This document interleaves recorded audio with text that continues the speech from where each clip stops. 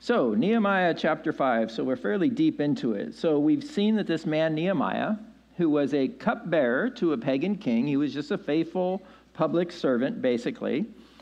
He came from Persia and traveled with a bunch of people and returned to Jerusalem. And his purpose was a construction project. And even construction projects can be holy. For example, we are currently in the process of putting air conditioning in our gymnasium. Yes! and we all know that that's holy. so we've been years. You know, it's, it's, it's going to be perfectly on time. It's going to be ready when the first cold front comes in, and we don't need it. But, anyways, we're, you know, next summer it should be all fresh and ready to go. But, anyways, one, God uses projects to minister to people. Uh, God uses projects to put us in a place where we can learn, where we can receive from Him. And God uses projects to challenge us in our faith and help us to grow. I tell you what, I think I've grown a, quite a bit over the last two years when three of us were trying to remodel my bathroom. Just finished the other day. And uh, yeah, so God uses these things. And I always tell the staff and the leadership uh, in our church that, you know, the, the, the reason we have projects, really the, the end goal isn't the project. All that ultimately is temporary. The, the end goal is the character that it develops in us and those around us. And all the staff is is told to, yeah, the, the project is never more important than the person. But the Lord laid this on Nehemiah's heart.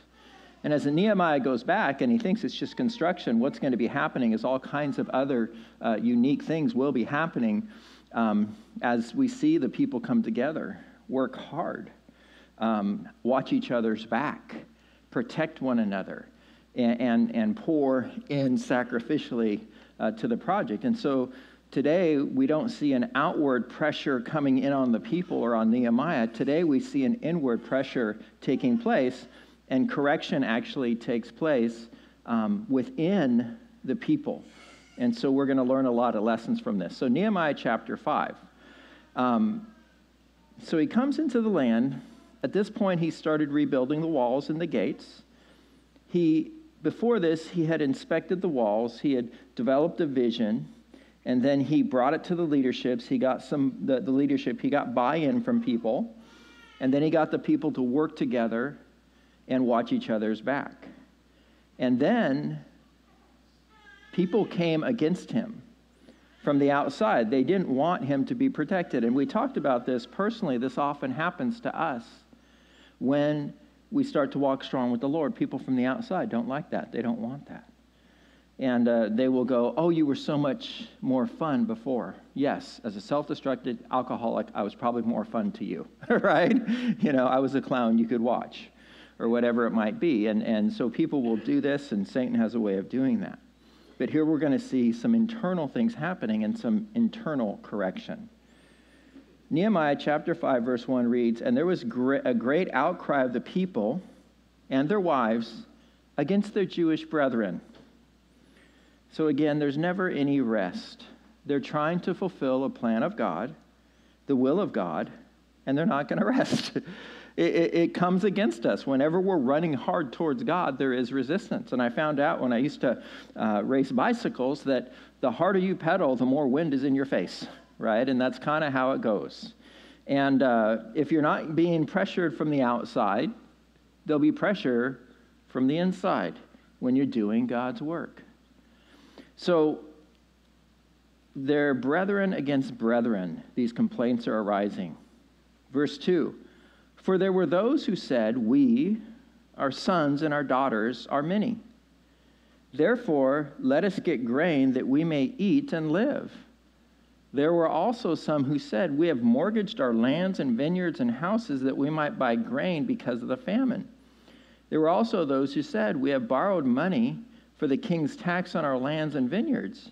Yet now our flesh is as the flesh of our brethren, and our children as their children. And indeed, we are forcing our sons and daughters to be slaves, and some of our daughters have been brought into slavery. It is not in our power to redeem them, for other men have lands and vineyards. And so the list of issues is long and it's serious. They're, they're having all kinds of problems, and it all has to do with financing. And when it says our daughters have become slaves, basically they sell themselves to be servants to others in order to pay off debt. It wasn't true slavery in the sense that we see slavery. It was indentured servanthood to pay off debts, right? So, what were the complaints? One, we cannot get enough grain. The Persian king had confiscated the land and was not necessarily allowing the Jews to grow enough to eat during this time, and the people were working on the wall very hard. They needed to eat more, and they weren't able to produce enough. We have mortgaged our possessions to buy grain. We're hungry. We're eating more than ever. We're working harder than ever, and we're not producing any grain. We're not working the land that we do have. We have borrowed money to pay taxes, taxes that never came back into the land in which they were collected. The taxes would go where? To Persia.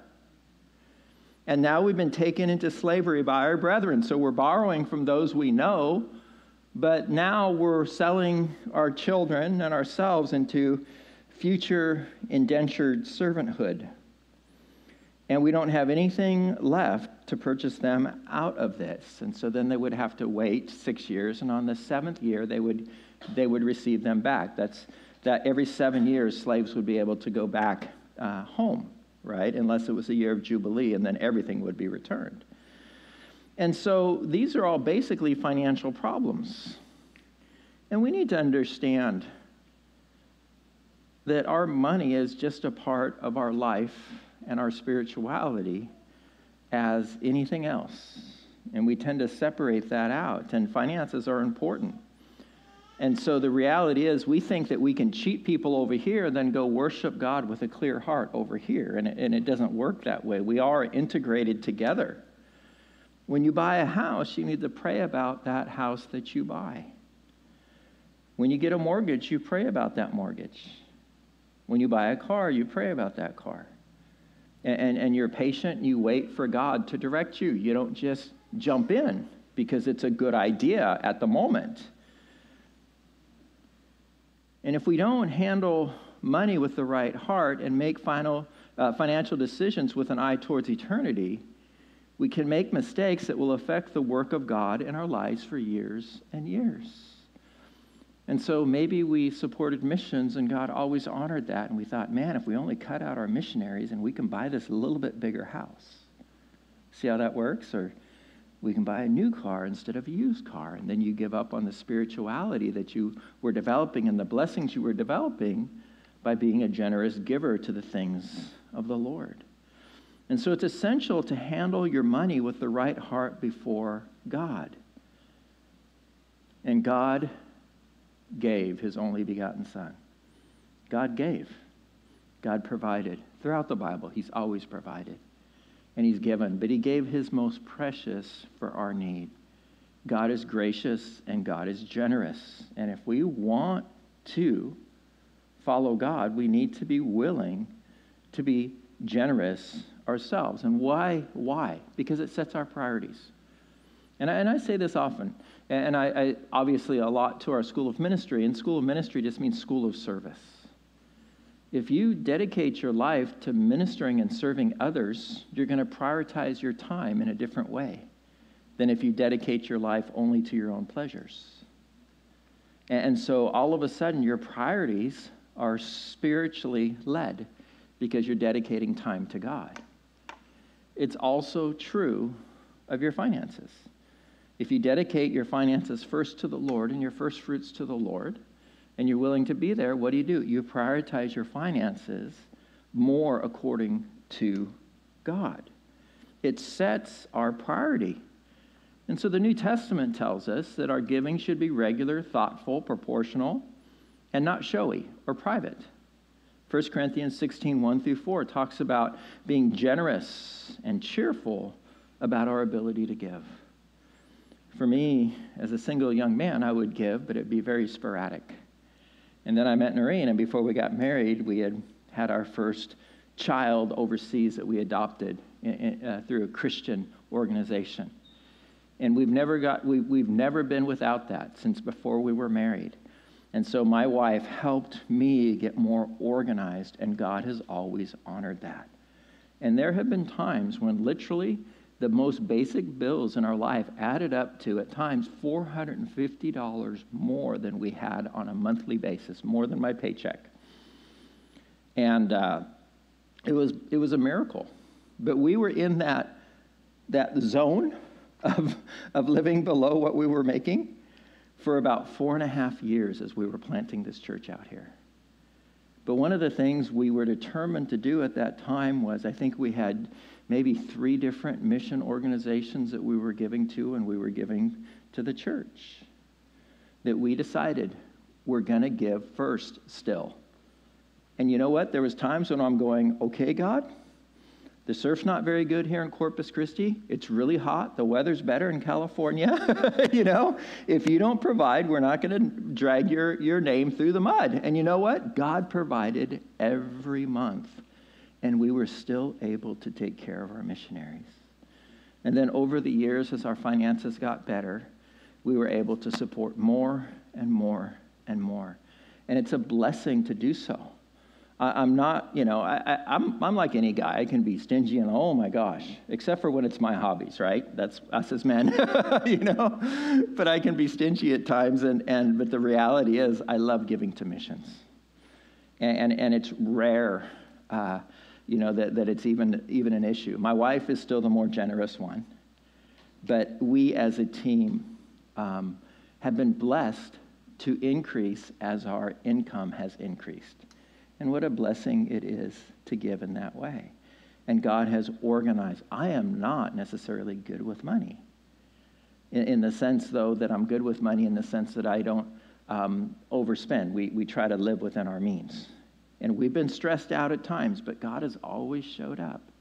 And, and it's not only myself and my testimony, it's the testimony that we've seen in this church for the last almost 26 years now that, that, that people that give and prioritize their money to the Lord are not chronically in financial trouble.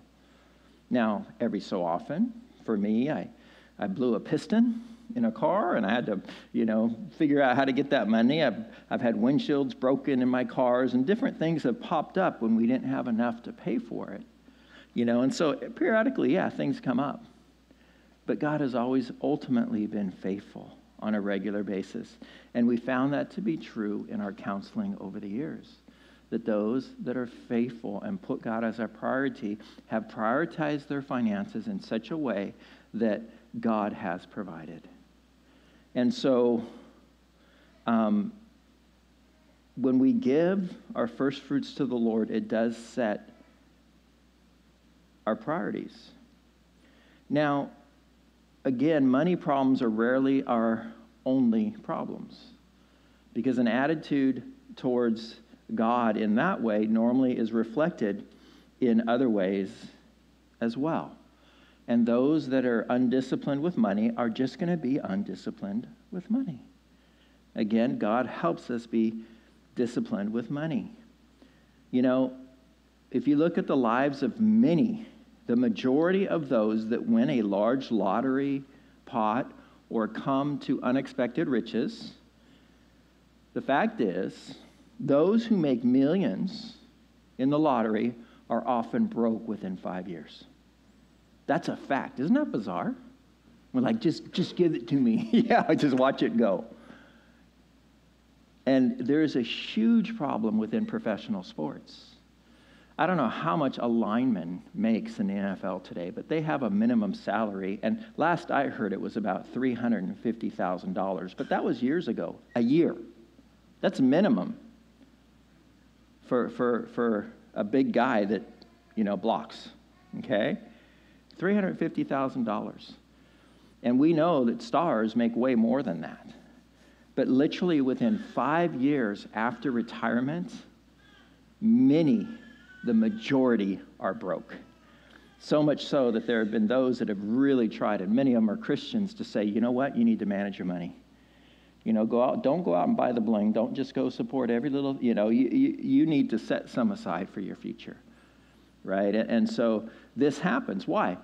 Because they're not prioritizing their money You know, so some people are disciplined, but as Christians, the greatest way to do that is to prioritize your money before God, right? And so their issues here are going back to money problems how to handle their money, how to glorify God with your money. And, and the same problems will soon show up again and again, often bigger than ever, if you don't get that right in your life. So he hears of these issues. And it says in verse 6, and this is Nehemiah speaking, and I became very angry when I heard their outcry and these words. He's upset. Why? For, for a large part of it, it's an internal problem, and we'll see how he fixes it. But we see that Nehemiah is angry. And we're going to see that his anger is not an unjust anger, and we'll look at reasons for that. Now, the Bible says, Be angry and do not sin. How do you do that? Well, anger should be at an injustice and an abuse, one that dishonors God and takes advantage of the weak. It's not a selfish anger right? It's, it's, it's, it's an anger, it's, it's a frustration towards those that are dishonoring God and enslaving the weak. Remember, Jesus was angry with the people who were taking advantage of the worshipers in the temple because he walked in there. What did he find?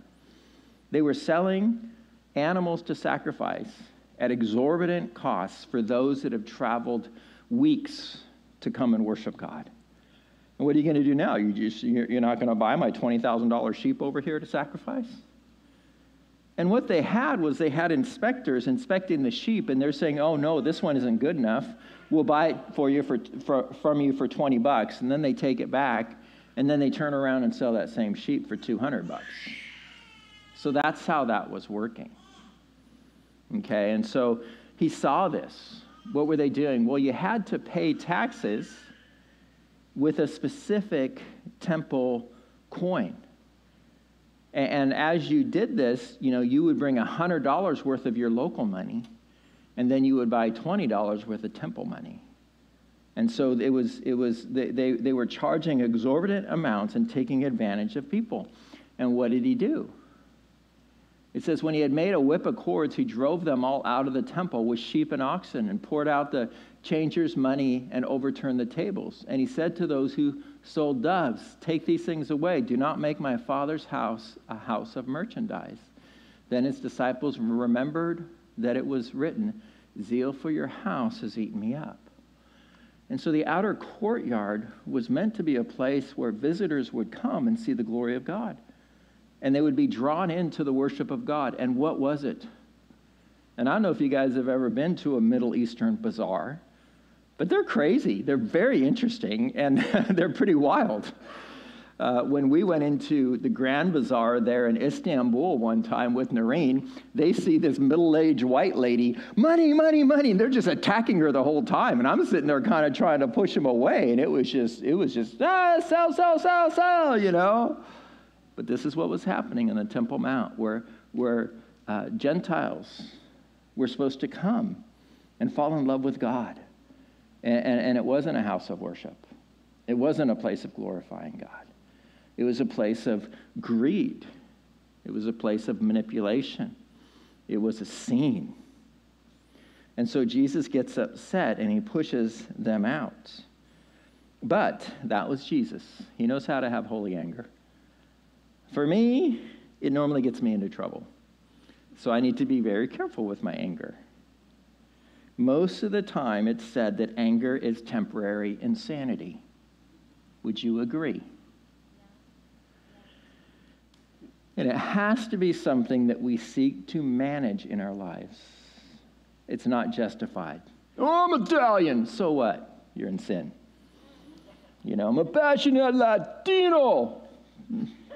You're still in sin, right? Some of my lineage comes from Vikings. I get mad, I bring out an axe and chop off your head. You know, whatever, you know, it's like, come on. It's all sin, and we're human beings. And the Bible applies to all of us. Can you be angry and not sin? And so we need to be careful because some people see Jesus, you know, driving out the animals. I don't see him whacking people with the, with, with the whip. People kind of see that image in their head. I think you can get that out of your head. He drove them out. And he might have hit a few sheep and animals to get them moving out, turned over tables, but I don't think he bruised anybody or bloodied them. Doesn't say that he did, right? Just said he drove them out. Why? Because people weren't allowed to worship. The ones that he wanted to be saved were being turned away by others' actions. So we got to be careful. We need to manage our anger and not look at Jesus and justify it, right?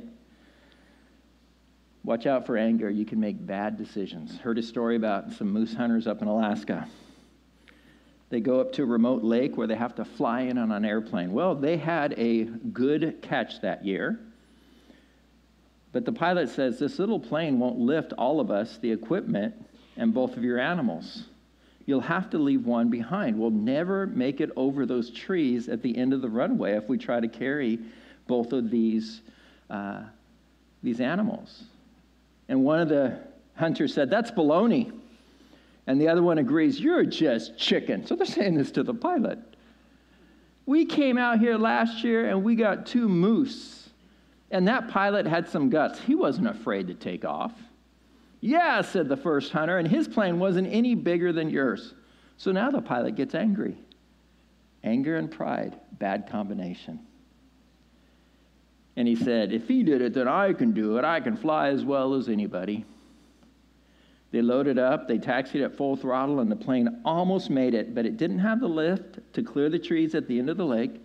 It clipped the tops, it flipped, it broke up, scattering the baggage, the animal carcasses, and the passengers throughout all the brush. Still alive, but hurt and dazed, the pilot sits up and shook his head and says, Where are we? And then one of the hunters rolled out from being thrown into a bush. He looked around and said, I'd say we're about 100 yards further than we made it last year. Okay, some of you were listening, some weren't. Anyways, he was angry and prideful and got him in trouble. So, so Paul wrote, Be angry and do not sin. Do not let the sun go down on your wrath, nor give place to the devil. It's possible to be angry for the right reasons. That's what this tells us. But too often, very often, and most often, it's sinful in my life. And really, when it says, do not let the sun go down on your wrath, it's saying deal with it and deal with it quickly. Get in your right mind. Why? Because the devil will get a foothold in your life and you will make stupid choices and you're going to wreck your plane. Now, anger is wrong when I am the cause of the anger, when I'm the source of the anger, when it's gotten in me, when it's not a righteous anger that's going to lead me to action on someone else's behalf or on God's behalf. Right? And so we need to catch ourselves. From Oswald Sanders' book, Spiritual Leadership, he says, Anger becomes a sin when to favor a resentment or a feud, we imagine an injury done to us. And so, what he's saying is, it starts to play in your head, right? And when someone wrongs you, what do you do? You keep on rerunning it, don't you? An injury done to us becomes in our minds greater than it really was. Once you start playing it over, it becomes a bigger deal, doesn't it? When you're playing it over in your head again and again and again. Think about the last time you're angry. Isn't that what happens a lot of the time, if not most of the time? Without any real injury, it's normally something we can deal with. But it was, a, it was a word or a saying or something misunderstood or, you know, someone spoke out of line or maybe it was even deserved. We feel resentment on account of our pain or inconvenience. Our indignation rises too high. We get flustered and frustrated. We're out of control.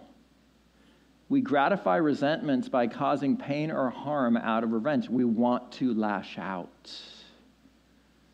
And we are so perplexed and angry at sin in our own lives that we readily project anger at the sin we find in others. Sometimes it's like, I was so stupid. Let me, let me give you a silly example. So Thursday nights, I teach School of Ministry. Our trash is picked up on Thursday Thursday, right? And very often I uh, am late getting my trash can out because Thursday comes after Wednesday night. And Wednesday, Thursday morning, I'm not in the best sorts because I've been teaching and I've been at church late and I've been studying from early in the morning, right? It's a long day for me on Wednesdays. And uh, so, anyways, so lately we've only been able to water our lawns on Thursdays. And so Thursday night, I'm watering our lawn and I'll relax by watching stupid YouTube videos like really dumb. You know, my wife's like, "Oh, brother, can't we watch something meaningful instead of disc golf?" And like, I'll watch mini golf sometimes just to get my brain off of anything. I can't. If you can take uh, if you can take mini golf seriously, you got a problem. It's not serious, but it puts my brain to sleep. And, and normally within about half an hour or so, I'm just like, I'm ready to go. So we had turned our, wa- our water on, and then it was just like, you know, I forgot to turn my water off. Next morning, I wake up and we have this little ticket on our door.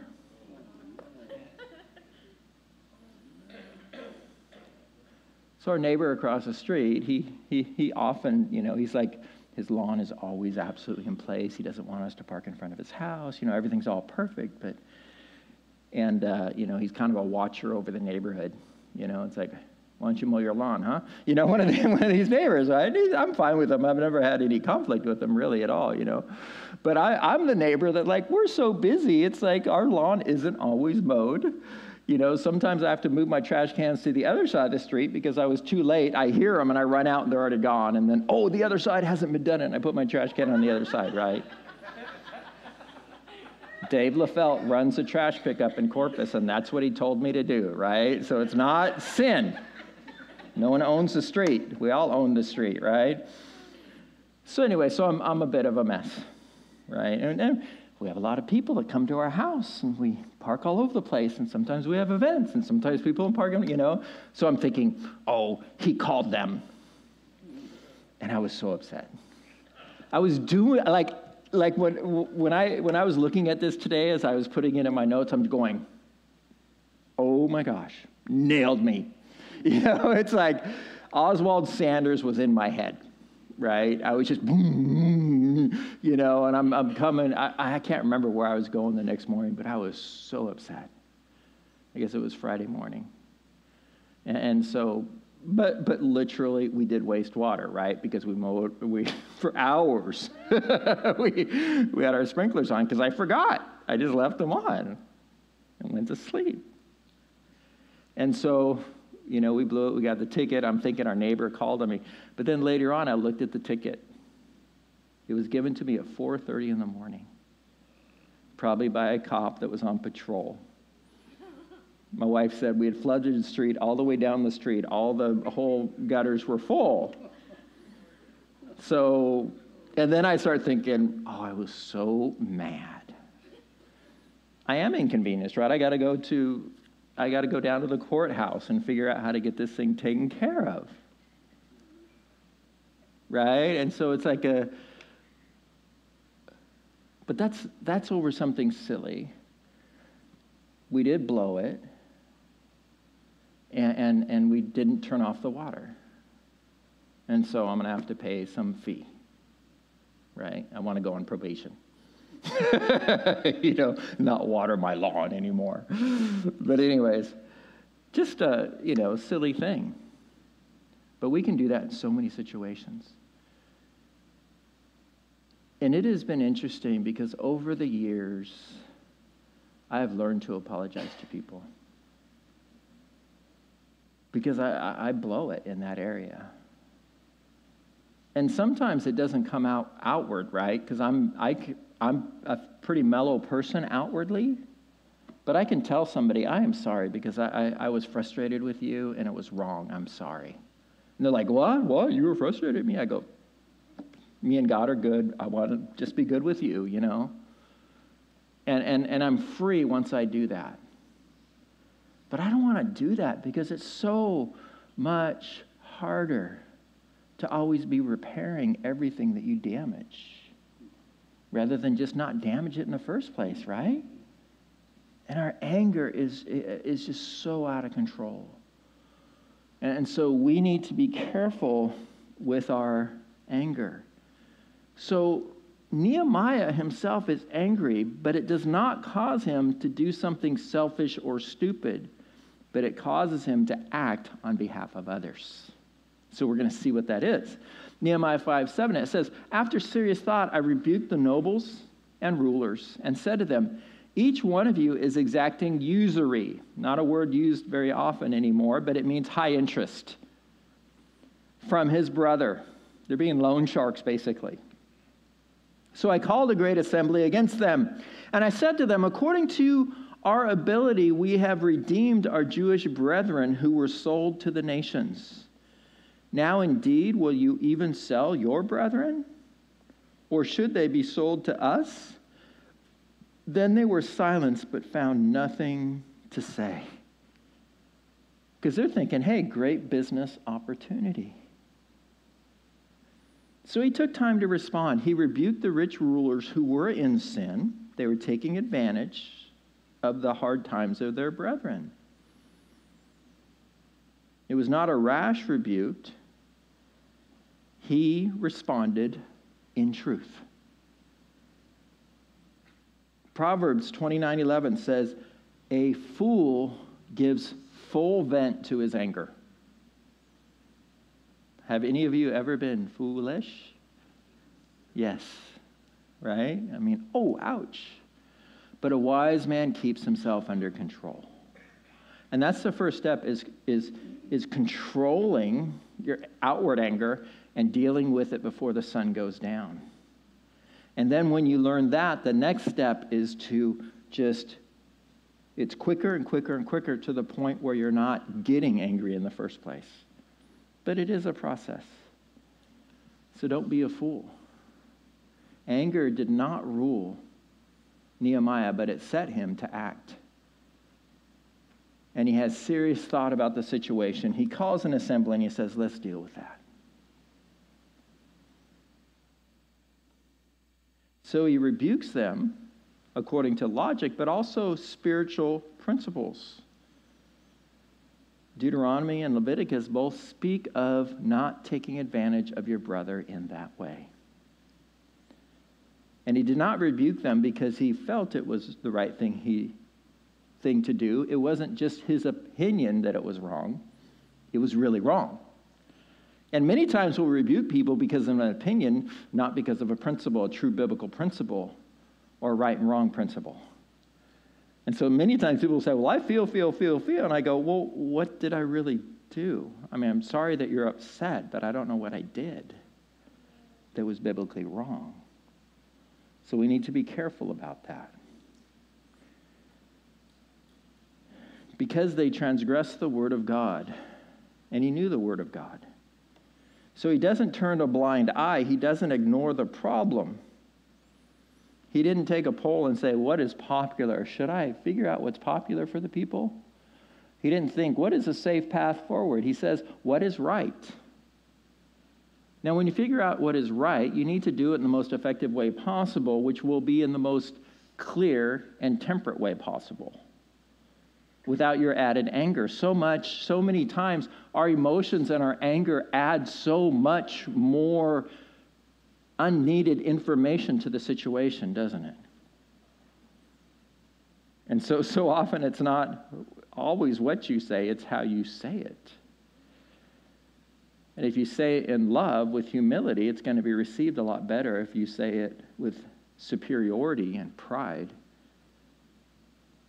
and clear anger. But what is right? What is, what is the right thing to do in the situation? I think the next question right after that, what is now, now we know what's right, what is the right way to handle the situation?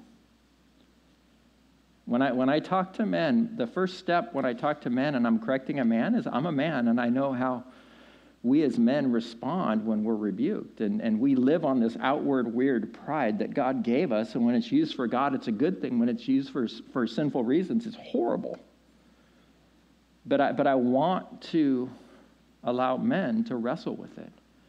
And I know for me, a simple word to a man is going to come on him like a load of bricks. And so my first step is normally very controlled as much as I can. And, and then allow it to go from there. Because if you come in guns a blazing, I, I, it's not good. And I know that's true with most men, right? Or if I come towards a woman with, with, a, with a rebuke, and I don't rebuke women without their husbands there. Normally, I don't rebuke women. It's normally up to women to rebuke women, right? And that's a biblical principle. But, you know, in that situation, if I'm trying to correct a daughter or my wife or, or someone in a way, I'm going to I'm going to correct them in a very gentle way and not in a threatening way. Because when women feel threatened, uh uh-uh. uh It's like when men's prides are hurt or, or women's security is, is at threat, nothing's getting through right? And, and so we just need to do what is right, and the way we do it needs also to be right. And I do find it interesting, and we're going to see that he, he nails these guys. But listen, if I'm counseling you and it's just you and I, and, and I, I don't talk to you in person the way I preach from the pulpit. And it is different. You know why it's different? Because from the pulpit, it's spread out. And if I say something heavy and you apply it to your own life, and you might think he's speaking directly to me or whatever, you also know that I was speaking, you know, 50 other people than just you, right? And so it's not as pertinent. But if it's across the table, you know, it's a little different. So he's speaking to this assembly of men. And so he's just coming straight at them. But if it was just, you know, hey, uh, you know, Shamil, get over here, or whatever, you know, whatever his name is. I need to talk to you about something. I need to, I need to bring some correction to your life. And so humble yourself. I, I want to challenge you with something. That's probably how he would have done it one on one, but he drills them in a big group. And when he does that, they're also going to be challenged each other as well. They're going to agree that it's right, and now they're accountable to each other to get it done. And that's good as well, right? You see how that works, that accountability. Iron sharpens iron. So, verse 9 says, Then he said, What you are doing is not good. Should you not walk in the fear of our God because of the reproach of the nations, our enemies? I also, with my brethren and my servants, am lending them money and grain. Please let us stop this usury or this overcharging of interest. Restore now to them, even this day, their lands, their vineyards, their olive groves, and their houses. Also, a hundredth of the money and the grain, the new wine and the oil that you have charged them. So they said, We will restore it, and we will require nothing from them. We will do as you say. Whew. Loaning without interest in troublesome times. Would God bless them and honor them for that? He sees it, doesn't he?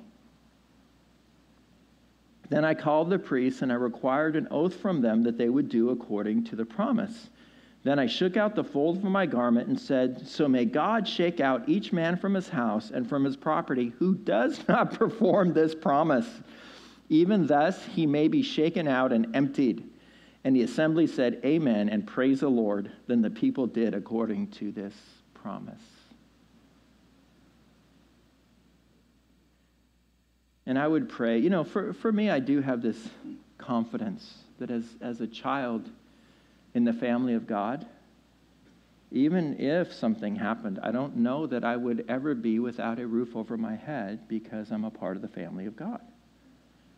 And I've seen the family react so well in so many instances. And I've told people this you are part of the family of God, you've been there for years. You know, you, you, you don't need to worry. You're always going to have a place to stay.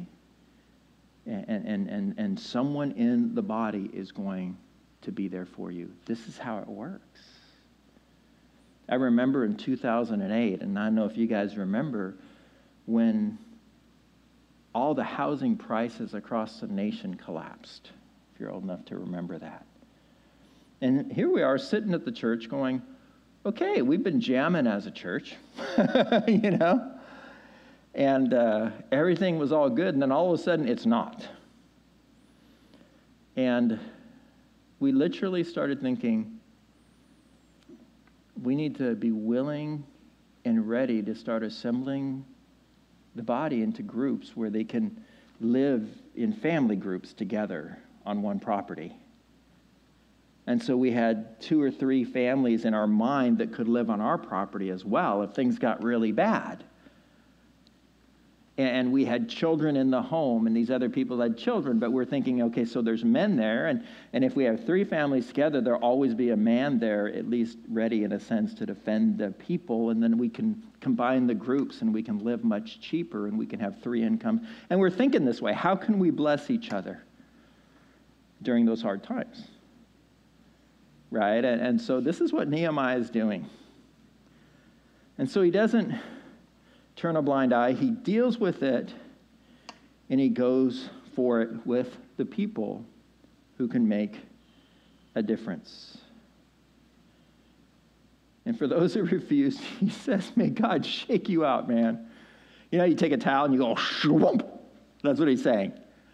May God just do that to you if you're not willing. You have the means. What are you holding on to? Be on God's team. So Nehemiah did this with himself as well. He told them, I am loaning to people as well. When you call people to sacrifice, you must be willing to sacrifice as well. Right? Do you realize that in our Congress they pass laws all the time that they're not under? When they were messing with everybody's health insurance, they weren't under that same health insurance plan. That interesting? It's odd. Leadership often does not do what they're asking others to do. I remember this character, Al Gore. He was trying to get everybody to give more money to charities, and most of those charities happened to be charities that he was connected to. And then someone investigated or leaked his tax information and he gave 1.3% of the money that he was making to charitable organizations himself.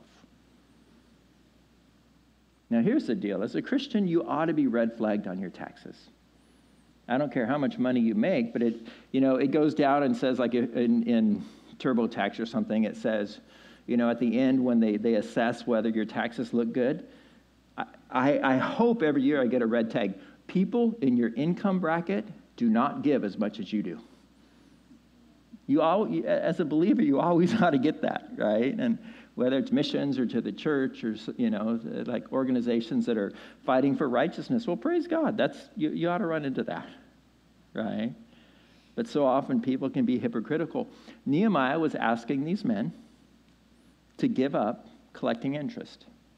And he said, I will also do it. But that's not all. He goes even further. you know, as, as a believer, I just realized over the years, I cannot afford to be stingy with the money that God has provided for me. And, and, and so I want to be faithful and generous in my giving. And again, I think I said it Sunday, but you know, sometimes I think, man, with the amount of money that I give to the church and give to missions monthly, I could have one of those really big trucks. I have a truck. I love my truck. My truck is 13 years old, but I love my truck. But it's before they got really high and big, you know? And, uh, um, but quickly I realized this I can't afford not to give because I know if I didn't give, I would have less. I, I really know this. What would happen with my priorities? My priorities would be different, and that giving first. And I always say my wife is more generous than me. I don't know that I'll ever catch up with my wife and her generosity. But a couple years ago, at the beginning of every year, I, I set a spiritual goal. And a couple of years ago, it was to be more generous. Oh, that was hard. We're out with a bunch of young people, you know, and I got a mortgage and car payments and all this. And I'm like, okay, I'll get the check. Ouch. you know, but thank you, Lord. You know, and uh, It was good. It was, it was a good year. Now I'm still stingy, but no, just kidding. I've learned a little bit better and I've grown, and that was, that was a good year. So I can't afford to be less generous with the money God provided for me. I want to learn how to be wise, but also more generous at the same time. And if I'm faithful with my money, and God wants me to give somewhere that it needs to be giving, I love being the source of that help. What a blessing. I can be in on God's plan in somebody's life. We did baptisms on Sunday, and everybody says, Thank you for baptizing me. And I look at them and I always say, Are you kidding me? It's my honor. I get to be a part of your story with God. What a blessing. And the same goes with being able to be generous with who we are. So, going on in verse 14, it says, Moreover, from that time that I was appointed to be their governor in the land of Judah from the 20th year until the 32nd year of King Artaxerxes, 12 years, neither I nor my brothers ate the governor's provisions. But the former governors who were before me had laid burdens on the people and took from them bread and wine, besides 40 shekels of silver. Yes, even their servants bore rule over the people, but I did not do so because of the fear of God. So he had provision from Persia, and he also had the right to tax like his predecessors. And he said, I'm not going to do that. I'm going to use the provision from Persia to help the people, and I'm not going to tax people locally.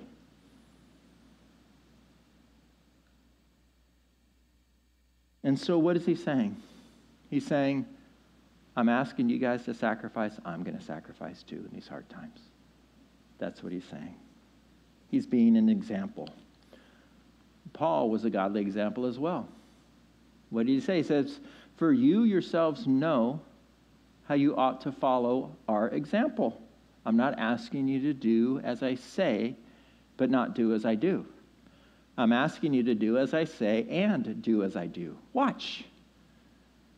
We were not idle when we were with you, nor did we eat anyone's food without paying for it. On the contrary, we worked night and day, laboring and toiling, so that we would not be a burden to any of you.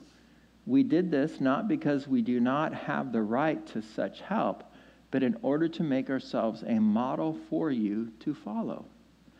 Now, you need to know this wasn't always the case in Paul's case, sometimes he needed to be supported because the work was so radical.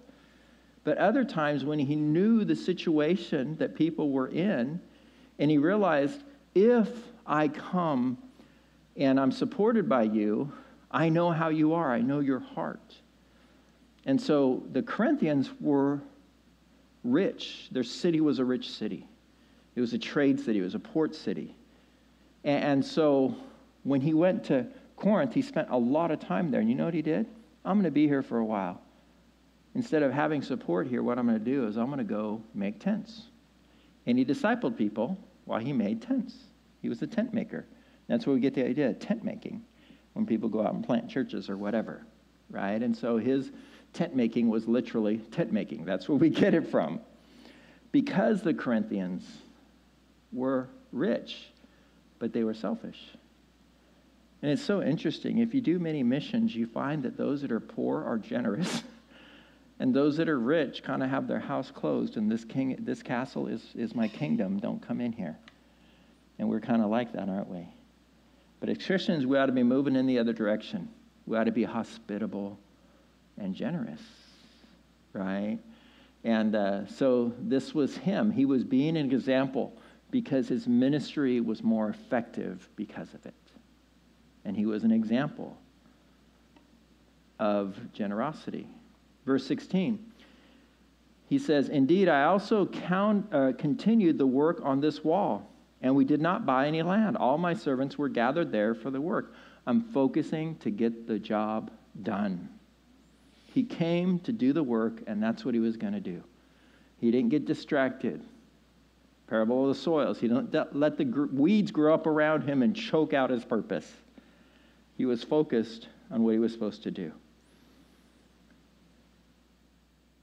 Let's build the wall. He remained a simple man on a construction project. He didn't let his notoriety, his fame, them putting him on a pedestal, distract him from the work. Verse 17, and at my table were 150 Jews and rulers besides those who came to us from the nations around us. Now that which was prepared daily was one ox and six choice sheep. And fowl were prepared for me, and once every ten days an abundance of all kinds of wine. Yet, in the spirit of this, I did not demand the governor's provision, because the bondage was heavy on this people. And so not on tax money, but people were giving and people were watching this example, and God provided. Where God guides, God provides. Don't use that loosely. Because sometimes we're trying to guide God and then expect Him and force Him to provide. where, where we, we use extortion on God. That's not what we're supposed to do. But in this case, what was He doing? He denied the tax money, and God provided enough money for Him to feed hundreds of people a day. What a blessing. It was, it was so interesting when, when God had called us to defend Hannah Overton, who many of you are going to hear on Friday. And uh, she was in prison. Uh, they didn't have the means to, to pay lawyers. Many of the lawyers had volunteered a lot of their time, but there was still a lot of money that had to happen or had to be raised. And, and so hundreds and thousands and up into the millions of dollars were raised to pay a lot of these legal fees over a 10 year period of time. And so here we are as a church, and even then, you know, we're, we're under all this controversy, so it wasn't so comfortable here. So we went to about 600 people on Sundays to about 150 to 200 people on Sundays. But still, all this money was coming through the church. And it was amazing because these people had given $300,000 to the defense fund of Hannah and they were hedge fund managers in New York City living in a penthouse. And then they gave us $27,000 and they said, Don't spend this on Hannah. We've been to your church. You need your parking lot finished. Guys, that whole right side of the parking lot, that cement out there that's not asphalt, that came out of the blue right? We weren't saying, oh, look at all this money coming in. It's all just money coming into the church. It wasn't necessarily earmarked. Oh, yeah, you know, pastor's getting a new house, you know. It wasn't. We were focused on what God had before us. And what happened? God provided what we needed. The week before we had found that out, an older woman had parked. We had a caliche out there, and she tripped on the caliche. And then the next week, this came in. God was looking at a sheep and going, okay. Right? I mean, now I don't presume, you know, on God. We were just trying to figure it out, be faithful. We were praying a lot of hours during that time as well. God provides in unique, special ways. We don't presume upon Him, but it's amazing. Again, I sit on a lot of church boards of small churches and growing churches that are trying to find buildings, and I'm like, always be praying for the miracle. Always be looking for the miracle. God can provide. Verse 19 Remember me, my God, for good, according to all that I have done for this people. That is not self serving. He just recognizes God's gracious promise that he will care for the needs of those who walk with him. These are promises of God. And he helps every time, but not always economically or materially, right? Spiritual blessings are eternal, and sometimes they're just what's needed. Sometimes we want the shiny thing that we can hold on to, but many more times it's a peace that surpasses understanding that no drug can give you and no influx of money can give you. Only God can give you. But God will always bless. Hebrews 6:10 it says, God is not unjust. He will not forget your work and the love you have shown him as you have helped his people and continue to help them. Always do good to all, especially to the household of faith. Right?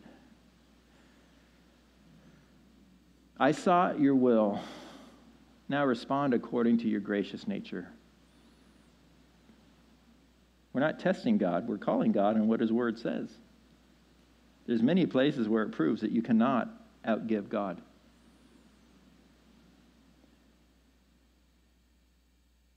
And he sets a good example. He's facing discord. He asks what is right, handles his anger.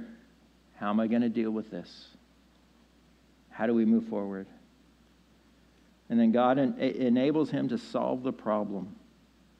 But many times it takes us saying, What about me? What is my part in the answer to this problem? It's very interesting working with people over the years and you know some are kind of given to, to be good leaders because they're humble with that leadership. Others mm, they seem good at the beginning and sometimes they misuse it. Sometimes they'll lead people well but they'll never humble themselves to get dirty themselves either. And it happens sometimes and you oops don't have a perfect record with that one but we need to pray, oh God, strengthen us. Help us to act like Nehemiah and stand against the pressures of our day. Help us to be men and women who visibly live according to what we profess, that this world may know. Let's go ahead and pray. Dear God, we thank you for your word. We thank you for the example of people like Nehemiah. Lord, the Bible's full of them, Lord, and thank you for these examples. Lord, history is full of men like this, people like this. Lord, may we be a people like this, especially in this day of compromise. May we be unbending, at the same time, a gentle place to land. May we be full of principles, but so good at sharing those principles that people are able to receive from us, Lord. May we not only lead but may we serve in our leadership examples, Lord. May we be able to say, Follow me as I follow Christ. That would be our heart, Lord. May we be found faithful, we pray. In Jesus' name, amen. Let's